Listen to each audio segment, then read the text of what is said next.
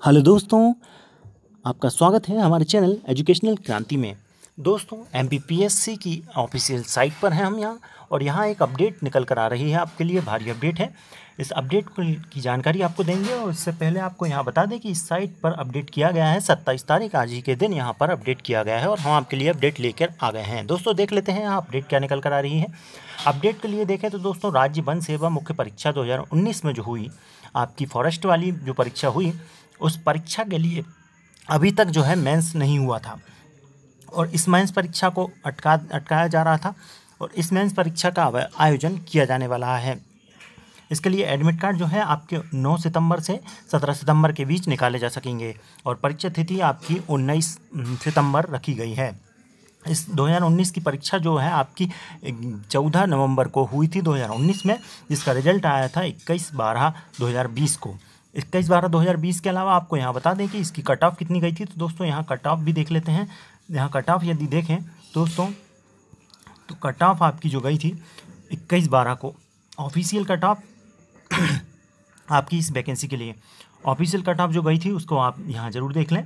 दोस्तों, यहाँ पर जो वन रक्षक की जो वन वाली जो वैकेंसी है, उसके लिए जो कट ऑफ़ गई थी, अन अनरिजर्व के लिए जनरल के लिए तीन सौ बारह गई थी। एससी के लिए दो सौ बानवे गई थी। और एसटी के लिए 226 और पिछड़ा वर्ग के लिए 308 इसके अलावा ईडब्ल्यूएस के लिए भी 304 गई थी। ईडब्ल्यूएस जो है ओबीसी से नीचे रही थी तो ई डब्ल्यू एस को यहाँ पर फ़ायदा मिला था। इस बार भी दोस्तों इस तरीके से ई डब्ल्यू एस को फ़ायदा मिल सकता है। इस बार तो सी सेट में भी फ़र्क हुआ है तो इस वन परीक्षा पर इसका फ़र्क बहुत पड़ेगा।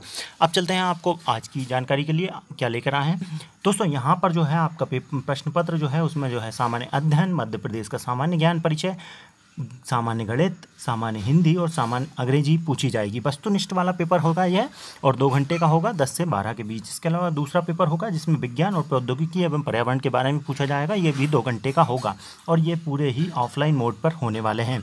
ऑफलाइन मोड पर।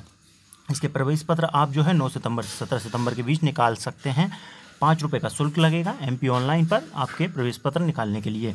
इसके अलावा दोस्तों, यहाँ पर आप जो आप जो एग्ज़ाम हॉल में ले, लेकिन जाना चाहते हैं, उसमें से आप मतदाता पत्र, आधार कार्ड या ड्राइविंग लाइसेंस या अन्य जो नो दी गई हैं, इनमें से कोई भी एक चीज़ लेकर आप जा सकते हैं। इसके अलावा जो गाइडलाइंस पेपर में होती है, वो सारी आपकी रखी जाएँगी।